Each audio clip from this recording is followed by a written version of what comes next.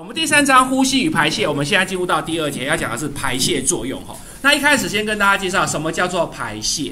排泄的定义是指你的代谢过程当中产生了一些过多物质，包含能量，我把它排泄，把它排到体外来维持你的恒定。好，所以可以可以维持你体身体里面的呃内环境的渗透压啦、电解质浓度啦、酸碱值等等的这些恒定。好，那我这边所写的废物哦，并不是好的用词。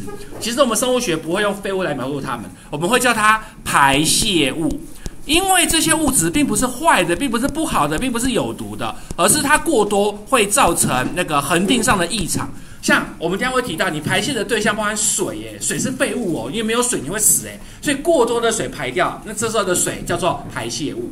好，所以这些物质呢都需要的，只是过多要排掉，过少就要累积。好，这是我们要排泄的一个一个现象。那排泄的对象是我们因为代谢过程而产生的过多物质或能量。好，再讲一次，排泄的对象是指你排出了你因为代谢过程而产生过多的物质与能量，把它排出体外，维持内环境的恒定。那如果今天这个物质呢，从头到尾都不是你身上代谢出来的物质，那就不能叫它排泄，只能叫它排遗。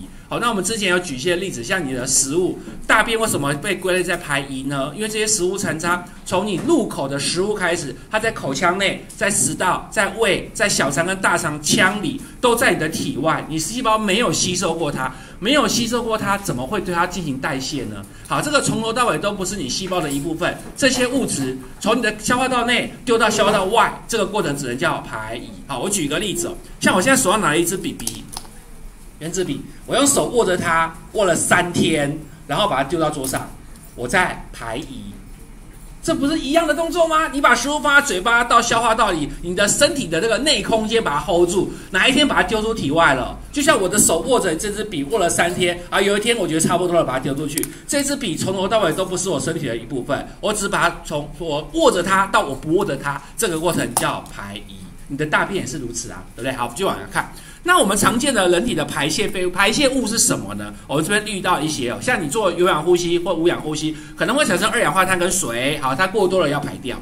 那我们的血红素在肝脏分解后会形成胆色素，胆色素进入到胆汁，形成大便的颜色。好，接下来呢，我们的蛋白质分解会形成蛋白质含氨基，氨基脱掉会形成氨，氨再转变成尿素，好，尿素来了。那核酸也有含氮啊，它的代谢过程会产生尿酸。好了，所以人体最常看到的排泄物有二氧化碳、水。